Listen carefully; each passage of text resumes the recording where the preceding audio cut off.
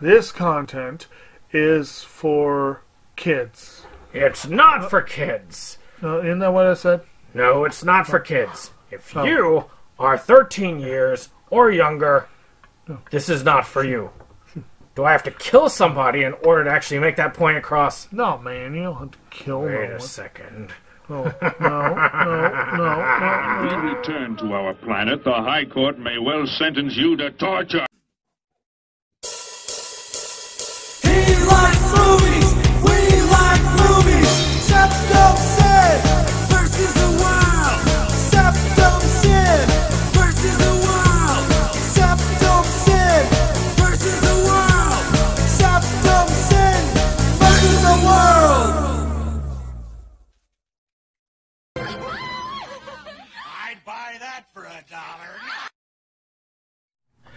Greetings! You're watching Septum Sin versus the World. I'm Septum Sin. I'm here with Kotobuki J. Hey?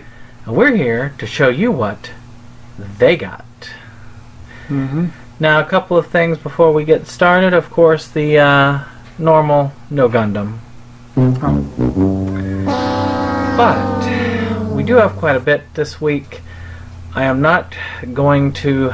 If you noticed on Monday, I usually do a um, stroll through my collection. Mhm. I also usually put the kitten up too, and I'll be doing that while he presents on his in a minute. But this week has been a, a rough one. Mhm. Weekend's been a rough one, I should say. So we'll pick up with the strolls next week. So with that being said, let's show you some of that beautiful DVD footage. Right. That's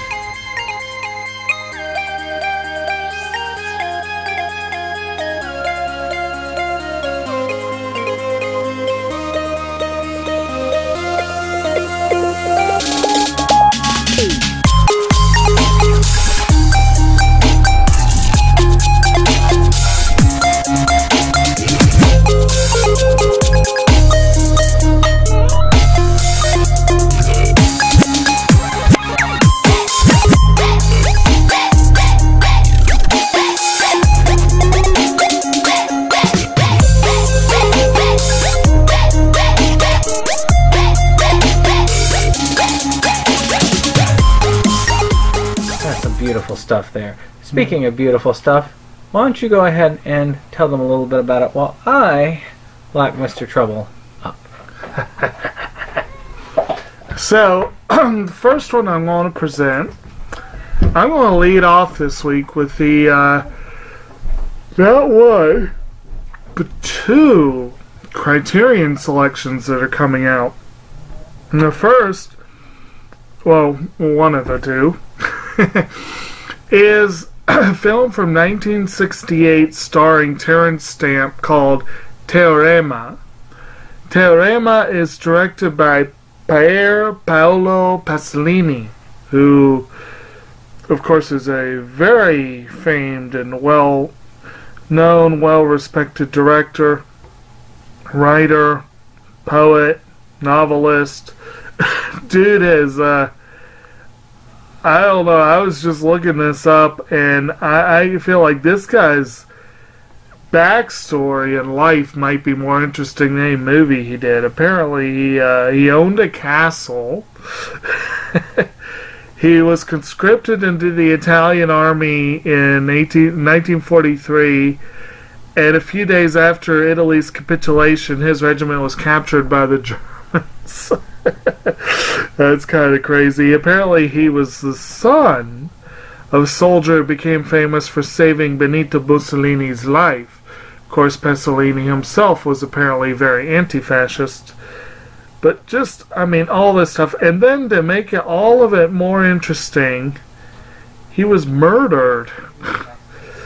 I, that's not funny, but it's like, I mean, you can't make this stuff up. This guy, I'm not, so, I'm surprised there isn't like a Oscar-winning movie about him already, you know.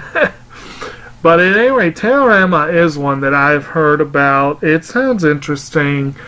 Um IMDb says a mysterious young man seduces each member of a bourgeoisie family. When he suddenly leaves, how will their lives change? um, yeah. So it sounds interesting.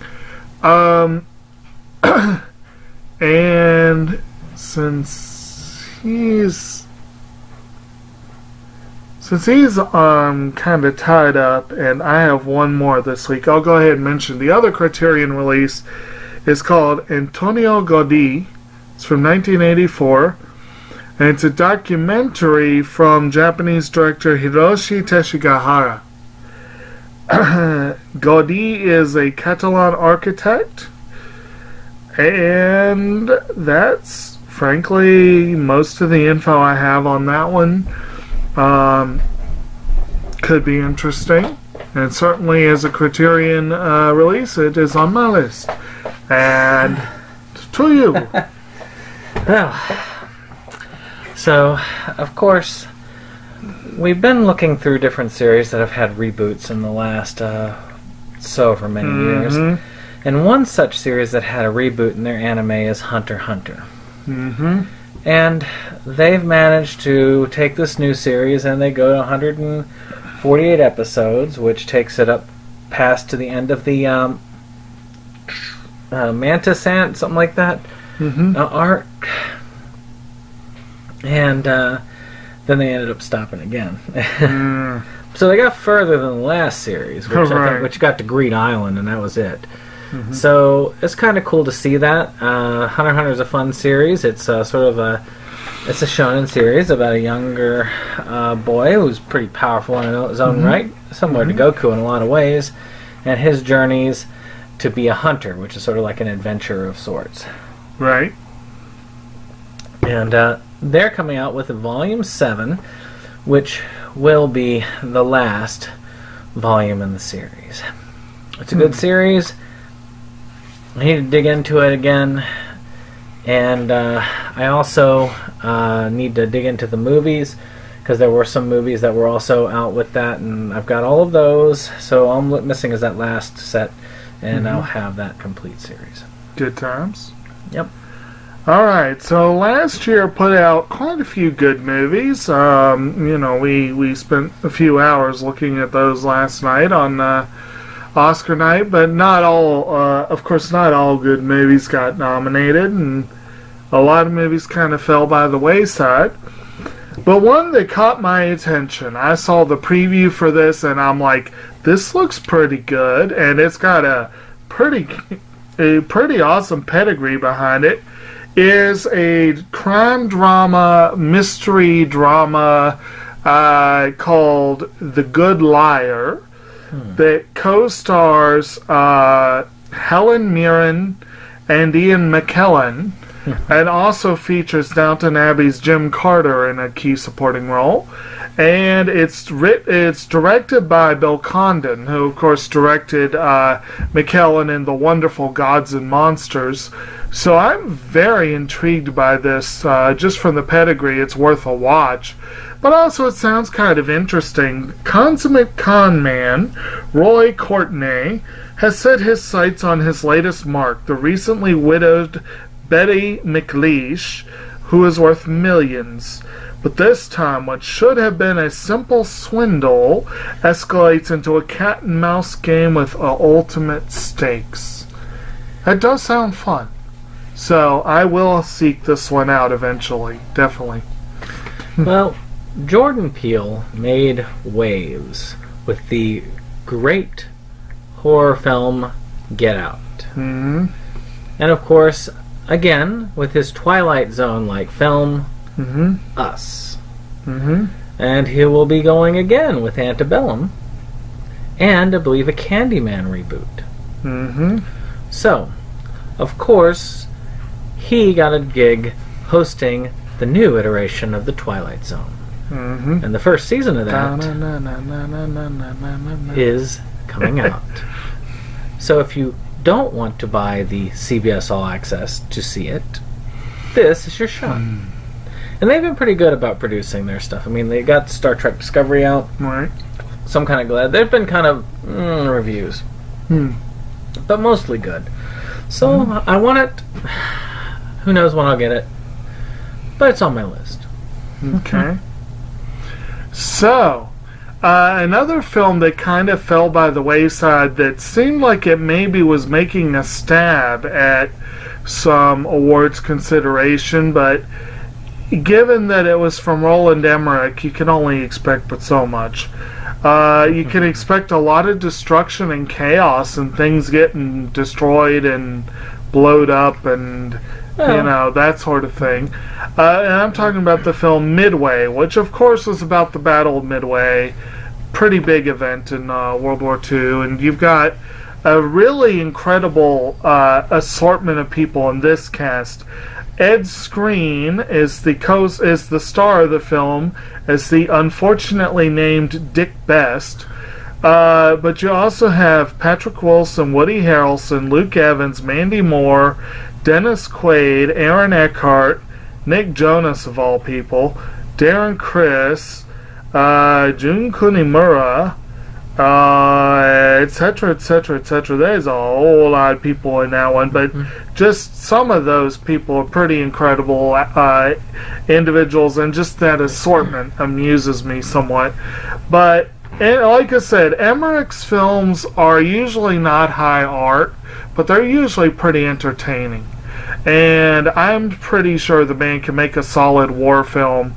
Uh, it is two and a half hours long, so that cuts down a little bit on my enthusiasm, but still, uh, I'll give it a go one of these days, and it's certainly worth mentioning.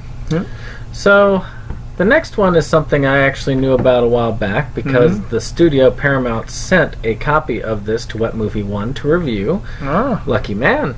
yeah. And that is the Avatar The Last Airbender hmm 15th anniversary steelbook for the Okay. series, not the movie. You got a free copy of that? He got a free That's copy. pretty cool. Now the way it looks, I mean, you can Mhm. only tell from the picture a little bit. Is Mhm. it's got this wrap around, and I'm not sure if the wrap around is metal, but it definitely is embossed. Right. And it has the steel books of each of the three books Huh. done. So I mean, like I've got the original releases for the DVD. Like there's the Book of Air, so they would have a Right. thinner steel book of that. Right. Now, by the way, the set is bigger than the three together here, so you're not going to save space. This is all for looks. It's like Oh, it is bigger? yeah, it's like you know how the Marvel Steelbook collection is, where they got like kind of a space in between each one, Uh, yeah, I think so. or the Harry Potter one where they did that too. Oh, yeah. That- yeah. It's it's like that. It looks like that.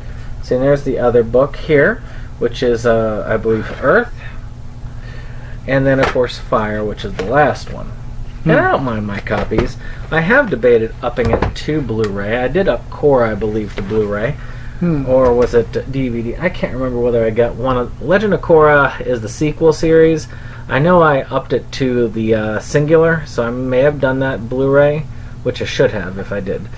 And uh, this one eventually needs the upgrade. I don't know if I'm going to pay the money for the uh, anniversary steelbook, mm-hmm. because again, why do I need to take up more room than I already have? I'd rather take up less room with some But of the other it'll Blu-rays. look cooler. It will definitely look cooler. so again, if you want that, it is there. It's an awesome series. It mm-hmm. really is. It's one of the better American animated series. Well, mm-hmm. technically Korean animated, but American uh, as well. American release. Yeah. Yeah. So, very, very excellent stuff right there. And I hate to admit it, I really do, but I cannot swear to it that I have Avatar. I know I have Legend of Korra. Legend of Korra is good. Yes, it is. And I would love to have the steel books. Okay, speaking of things that are in all probability going to be more expensive than they're necessarily worth, uh, this week sees the release of another I got it on DVD. relatively acclaimed anime, actually highly acclaimed anime, that unfortunately Aniplex of America got their mitts on it, so who knows what will come of this. But it's a series called Kaguya sama Love is War. And it's considered sort of a romantic dramedy.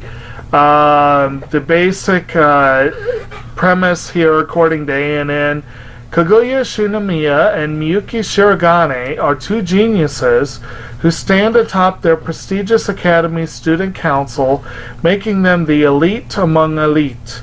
But it's lonely at the top, and each has fallen for the other.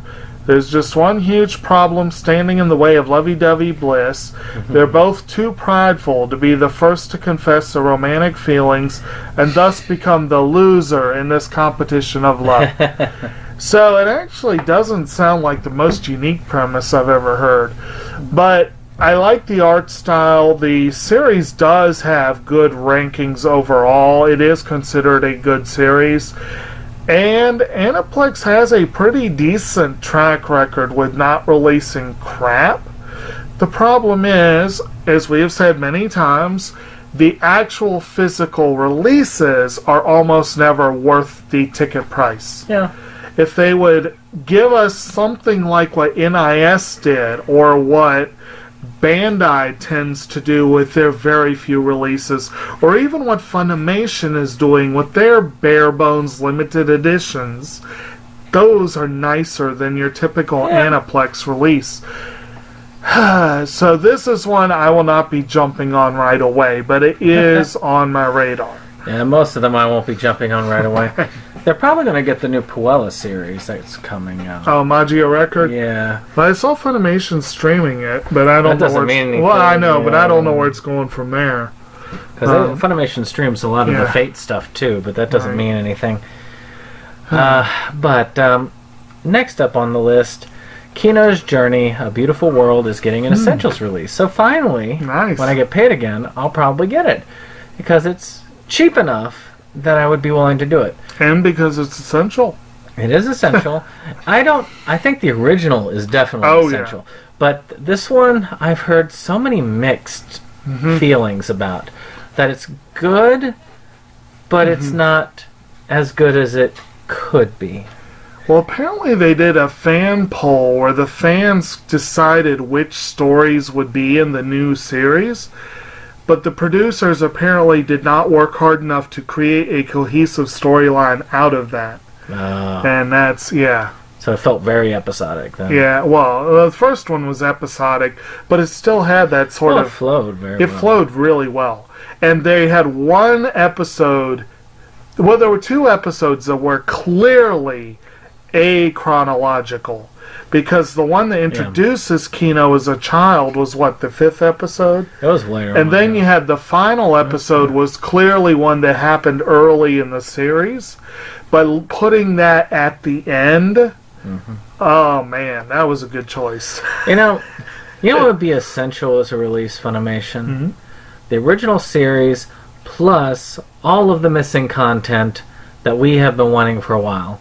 It has at least Mm-hmm. it has an OVA and a does it have a movie? It has an O. There were at least three OVA episodes. so you know, Funimation, get on that. Well, Sentai, I think, still holds that license, but you know, one of them needs to get yeah. I mean, how many times has the original been re-released Ah, without those episodes? I know. And yet, I still hold on to the original physical release because there's no new content. Right. Ah, get on Ah, it. yes, yes. Get on it. No. Is it my go? Hmm? Okay, so speaking of uh, old, older content than some of the stuff we're talking about, this one's uh, actually reaching way back into the past. We have a release coming out this week called Tex Avery Screwball Classics Volume 1. I cannot claim to be enormously schooled in the works of Tex Avery, but I do know some of them. This is some old school animation from back in the day. We were all introduced to him as a kid. Yeah, I mean, Droopy Dog, for goodness sakes. I know. Yeah. And Droopy, well, I always found him mildly amusing, you mm-hmm. know, but he, he he was such a mild mannered character. Tex Avery was a very was a was a very important figure in Mm-hmm. American animation. Yes, and anything that brings some of those old ones out on physical release, I'm always for that. Yep. A lot of them did not age as well as we would like, Oh, and um, but they're still interesting, and they they're a good uh, snapshot into the past, for better and for worse. Sometimes it's good to look on the past like that because Mm-hmm. when you look on the past and you let people know with these disclaimers, and Disney has done this with Disney Mm-hmm. Plus. But some of their older stuff, they actually have these little disclaimers and people actually talking about it at the beginning to explain this is not how things are now, but this is how they were viewed last then, back then. So it's not right what they're doing, but understand the context. Here you go. And that's good. I think that's how it should be. So, do you think this will lead to them actually getting up the nerve to put out Song of the South again? See, to me, it it angers me that Song of the South is being ignored because by not releasing it, they're basically trying to pretend it doesn't exist. Yeah, It does exist. It is historical, it does exist. and it's to me, it's important. I mean, they've released "Birth of a Freaking Nation," and that is a racist, inaccurate tale. Yeah. Depending on who you ask, I guess. Well, But I it- think it pretty clearly, yeah. I don't know. There's some people that might look at that as no, that's perfectly accurate. Uh, Some people days. are wrong. I didn't say they were right. I just, well, maybe. Uh, but, you know, it is still America's first feature film. Yeah, for better or worse. For better, for worse. It's still important to show. And giving that explanation to people ahead Mm-hmm. of time, letting them know, that way they don't get the wrong idea. Mm-hmm. That say, we don't support this, but, you know, Mm-hmm. I think that actually makes makes a step in the right direction. Yeah. So I would. s- Well, speaking of older animated features, Mm-hmm. Star Blazers twenty one ninety nine. Space Battleship Yamato is getting a release, Ugh. uh, or the complete collection, and that's pretty cool. Uh, I'm hoping to see all of that. It's a it's an important series. Mhm. I don't know if I'll ever get to it, but it is one that I need to get to. Mhm. It is a historically important anime, Mhm. so it's definitely there. And you know, everybody, most everybody who knows anime has heard of the Battleship Yamato, Mhm. uh, if anything. All right. And my last one is the film that, in a wonderful alternate reality universe that we do not live in, uh, won the Oscar for Tom Hanks for playing our dearly beloved uh, Mr. Rogers. But in this reality, he lost to someone who was interloping in the wrong category. Uh, and I'm speaking, of course, of the film A Beautiful Day in the Neighborhood. Uh, Marielle Heller directed film. Uh, that was one putative snub right there. Wonderfully camera, uh, wonderfully filmed, wonderfully acted. Matthew Rhys plays a uh, self-important uh, reporter with a very awful re- uh, relationship with his father, uh, who's played by a wonderful, understated Chris Cooper, Um and he is tapped, pretty much forced, to do a short puff piece, if you will, on Fred Rogers of Mr. Rogers' Neighborhood, uh, who is played, of course, by the incomparable Tom Hanks. And he gets drawn into this world that, in his cynicism, he had pretty much forgotten was even possible and uh, it's just a wonderful film, really uplifting. Just I had a huge goofy smile on my face for most of the movie. It was a good film. Um, it's just really good, and again, I, I think Hanks should have won. The film should have been up for more awards, but it is coming out this week, so you can get it yourself for your own collection. And I certainly will be looking for it. Maybe not right away, but I will be getting this one. It is a good, good film. So, Mm-hmm. last one for me is a, um, I guess, it's another piece of a series. That's a eight-part series, I think. Yep, I was looking over to it. I believe so. And uh, this series has been really uh, produced by Sentai. It's called Space Brothers. This is Volume Zero, which is a movie, by the way. And uh, it's about these two brothers uh, who kind of go in different paths and different directions until something brings them both back together. That's essentially the whole of uh, the basics of the series. I have not seen it, Hmm. Yeah, I need to see it. acclaimed series. but it's very well known. Yeah. I mean, I got one that was dirt cheap for all eight Mhm. volumes. It's amazing how uh, Yeah. how that goes. And uh, I'll wait until a sale, but I will be getting it because I want to Mhm. complete. and then maybe uh, two or three years later, you'll watch the whole thing. Mayhaps I don't go I don't go alphabetically like you do, so you never know. I Well, might I get it sooner than later. It depends with me. I mean, it really.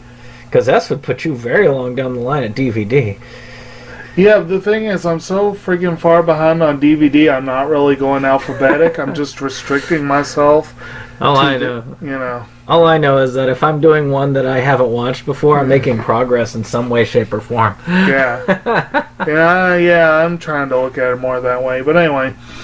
Um, alright, that was everything, wasn't it? That's it. So if you want cool. more poignant Oscar discussion, Oh, yeah. you'll hear from us more about the winners of uh, well last night's hmm even though this is going to be tuesday that this is up uh, night before last academy awards hmm we'll let you go through all of the other analysis first until you hit the right analysis at the end The correct.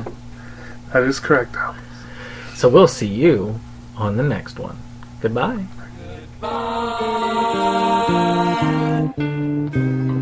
Bye.